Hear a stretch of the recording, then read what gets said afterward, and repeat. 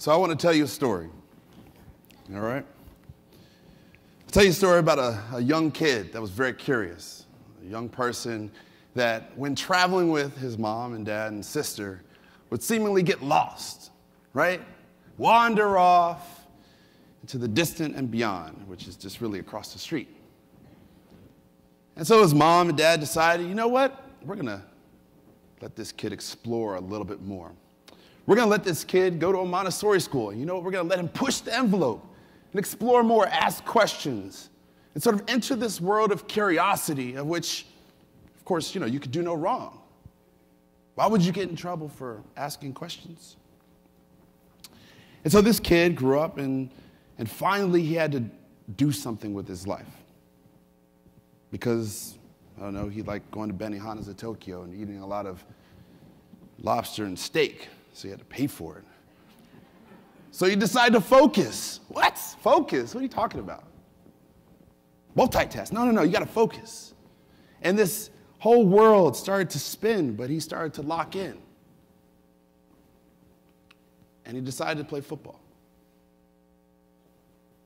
He decided to put all of his time and energy into something that he was passionate about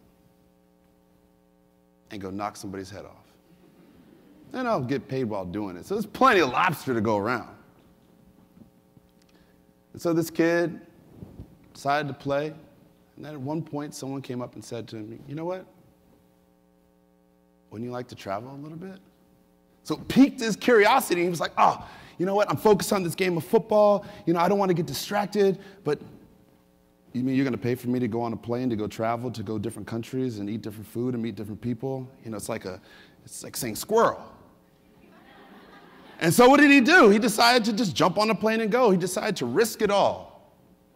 Millions of dollars, non guaranteed money for a dream to see the world. And you know what? He might get hurt while doing it. But he realized that there are millions and millions of people out there that needed to hear the story of others. What better way to inform the world than to just tell it yourself? And that, that kid was me. And so, in the same way that I was able to tell that story and change the prompter, oh well. Oh, there you go. In the same way that I was able to tell that story I was able to teach people about the world. And when I was in the locker room, people asked me questions. And people wanted to learn. And, and it was that moment that I realized that the most important thing that I could have done was take a chance, not only myself, but I was taking a chance for other people because they needed to know as well. And this quote I love uh, by Albert Einstein not everything that can be counted counts, and not everything that counts can be counted. And regardless of the chance that was taken, it was for the people. And so people started calling me the bow tie guy. They were like, there's this guy, this black guy who plays football and he wears a bow tie and he travels all over the world, but he tells these incredible stories. He meets these awesome people. He puts himself out there. And I didn't realize what was actually happening. I didn't realize what was really starting to build. Didn't realize how people's lives were starting to be changed. But we were creating that culture of conversation.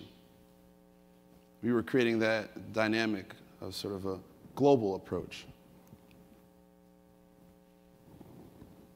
But the bow ties, to me, were more important than anything else the bow ties defined who I was and what I truly believed in. And that was about something that was not me, but something that was greater than myself. And it all started with this guy, Kunta Littlejohn. He's bigger than I am, so you can tell how big he really is. And Kunta said to me one day, he said, You know, if you gotta be somebody, you gotta rock a bow tie. And I kind of looked at him like he was crazy, like you guys are kind of looking at me. It's like, who in the world wants to wear a bow tie? The only people that wear bow ties are guys like Count Chocula, Pee Wee Herman. You know, it wasn't cool to rock a bow tie, you know, fruit of Islam. I don't know, somebody else, somebody that nobody wants to be. He's like, no, you gotta be somebody, gotta rock a bow tie. I was like, no, I'm not wearing a bow tie. And one day I went to go visit him, and I was down in Philadelphia. And I saw my friend, I was like, man, you know what? You look like you're losing a little weight. And he wasn't 300 pounds anymore, he was about 120 pounds. And I was like, whoa, you know, what's going on? He said, you know, you see those pills over there? I have to take those because I have cancer. What I didn't realize is that my friend, who was 22 years old, had non Hodgkin's lymphoma. And so I immediately left, went up the turnpike, and I went to go put on a bow tie. I've been rocking one ever since. Just as important as the story of travel is the story of Kunta. And since that time with Kunta, he's gotten better. I've never taken the bow tie off. He's back up to now 350 pounds. Love Krispy Kreme.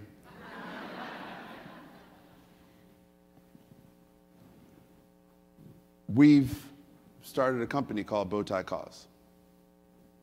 And Bowtie Cause, what I realized was that it wasn't about me in the same way of travel, in the same way of Kunta. It was about something that was greater than ourselves. It was a story that others, just like yourself and everybody else in the audience, could tell about those that they've supported, those that have a voice, and those that don't have a voice. And with Bowtie Cause, we've helped other organizations raise over a million dollars. Being in the NFL locker room, you see time and time again different people start nonprofit organizations, but what you don't see people do is solve the issue of raising money. There's millions and millions of organizations that are out there, but if you whittle it down, it probably only comes down to about 100.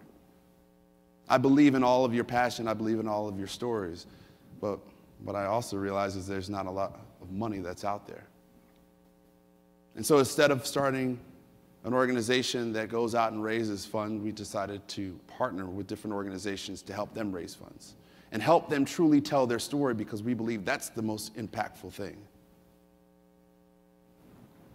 Working with 100 different, 159 different organizations and making 194 different designs, we truly believe that it's not necessarily the designs, not necessarily the bow ties, but the 37,000 stories that we've been able to tell.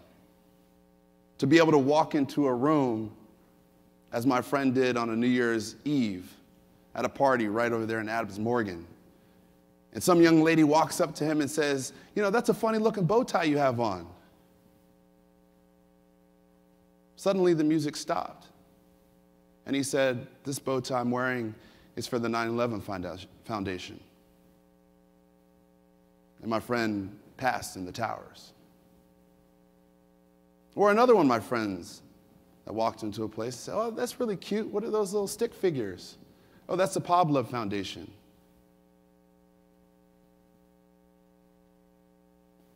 Stories transcend and create that emotional pathway to the brain. You may not remember all the statistics that I've put up on the board. You may not even remember that I tried to run away a couple different times. You may not remember me being a football player, but you'll remember Kunta's story. And you'll remember my friend's story who was at the bar. And every other nonprofit that we've worked with across the country from the Juvenile Diabetes Research Foundation and selling 100 bow ties and one dinner for 40 grand. James Beard Foundation, one bow tie for $15,000. It's not about the money, it's about the power of that story.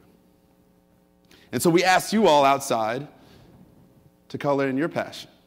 And I hope you continue to do so because we want to be able to hear, see, and be able to feel that emotional connectivity as we all sit here today at the Social Innovation Summit. And realize that, yes, digital is the way the world is moving, but analog is the way we all truly connect. And with Bowtie Cause, that's what we do. We establish a visceral conversation, connection, a certain level with different nonprofits, companies, corporations, but most importantly, people. And we're just getting started.